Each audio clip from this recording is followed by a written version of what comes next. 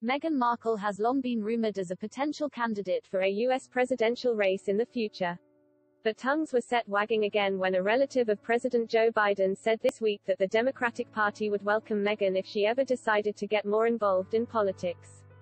Prince Harry has had a solid friendship with the Biden family for many years, and he has appeared alongside Joe and his wife Jill Biden at previous Invictus Games events.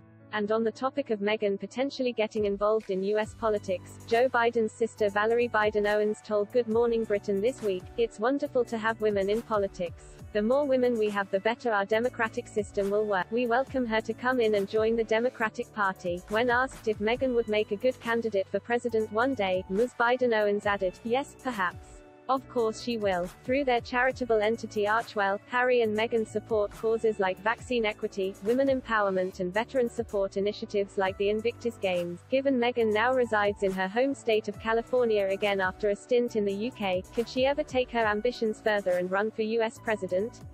According to the bookmakers, it's unlikely Meghan would win the 2024 US presidential election, but a win in future elections can't be ruled out. Previous celebrity candidates have surprised at the ballot box, with Donald Trump most recently proving that an outsider can beat the odds in the race to the White House. Alex Apati of Ladbrokes said, It's a rumor which has circulated for some time now and is showing no signs of going away, and although the latest odds suggest a successful campaign in two years from now is incredibly unlikely, we're not completely ruling out seeing Meghan Markle as U.S. president at some point in the near future. He added, lest we forget, Donald Trump was once a rank 0 over 1 outsider to find himself in the White House, so with that in mind, perhaps many stranger things have happened than Meghan following suit. The latest Ladbrokes odds for Meghan Markle to win the 2024 U.S. presidential election stand at 100 over 1, and the odds for Meghan to win the 2032 Democratic presidential nomination are currently 66 over 1.